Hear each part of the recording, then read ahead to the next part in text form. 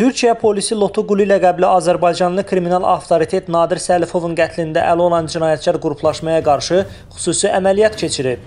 Türkiyə mətbuatının yaydığı xəbərə görə, eyni zamanda 4 əyalətdə keçirilmiş xüsusi əməliyyat zamanı Azərbaycanlı kriminal avtoritet Rövşən Lənkəranskinin qardaşı Namiq Caniyevə yaxın olan şəxslər saxlanılıb.